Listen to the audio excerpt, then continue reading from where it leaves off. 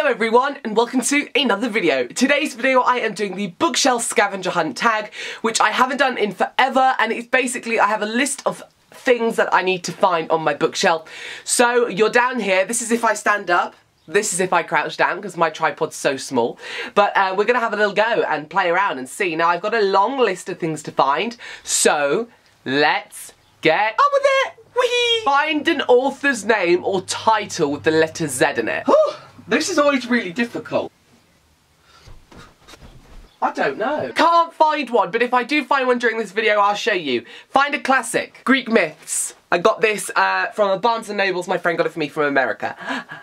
Find a book with a key on it. The Key by Jennifer Anne Davis. This has a key in the title. And this is a fantasy book in the first book of the True Reign series and it's about princesses not realising that they're royalty and being abducted by evil princes and yeah, it's really good. Find something on your bookshelf that's not a book. Well, that's easy.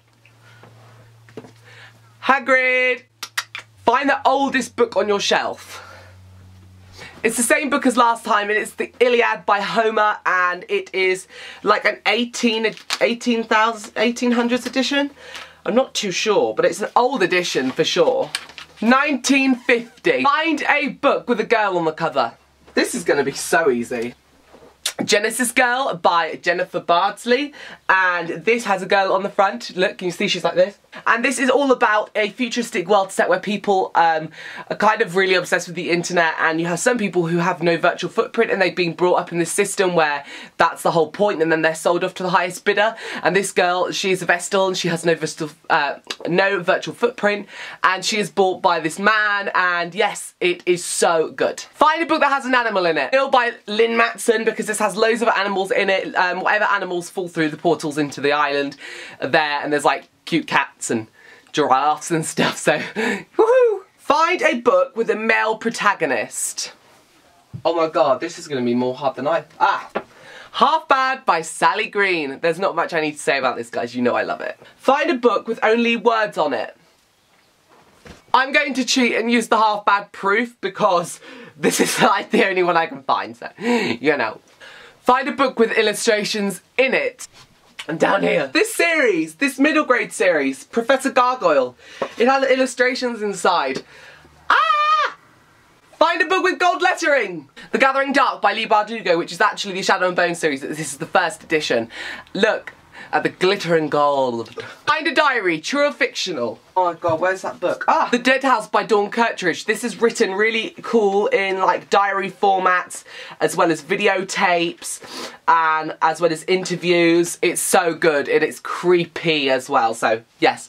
The Dead House. Find a book written by someone with a common name, E.G. Smith. I could go Sally Green, because like, everyone seems to be called Green. I'm going Christina Benjamin, because Christina well, Benjamin's my name, so I'm just gonna go with that. This book is the first book in a fantasy trilogy about kids based on an island. They're all orphans and they're used by the government to clean up after this great flood. But some of them realise they have superpowers. So, yes, truth. Oh my god, it's like Matilda meets Red Queen, so love it. So good. And it's free to download on Kindle. It's free to download on Kindles, guys. Find a book that has a close-up of something on it. This is easy.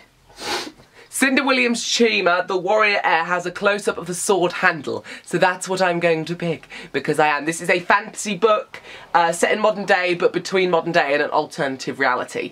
Yes. Find a book on your shelf that takes place in the earliest time period. I'm going to pick The Goddess Test by Aimée Carter. It doesn't take place in an early time period, but it's about Greek gods and there are parts in the Greek god ancient times, so that's as early as I'm going to get it. Find a hardcover book without a jacket. This is going to be hard because there's only one and you guys have seen it before. Diviners by Libba Bray is the only thing I have without a jacket. It's because it's a, an English hardback and normally English hardbacks used to come without jackets so yeah definitely the Diviners by Libba Bray. Find a teal or turquoise coloured book. Well, by God, they're all bloody teal or turquoise. I'm going Wicked by Jennifer. Armentrout My Bay. Um, this is a book set in New Orleans about demons and demon hunters and protectors of the human race and yes look at that I can't wait for the sequel oh my god this book was so good things about to get wicked in New Orleans find a book with stars on it I don't know oh my god yes I do know Justice Buried by Hilary Thompson this is a book set in the future but it's based on like star signs and mythology and it's basically a world ruled on ancient times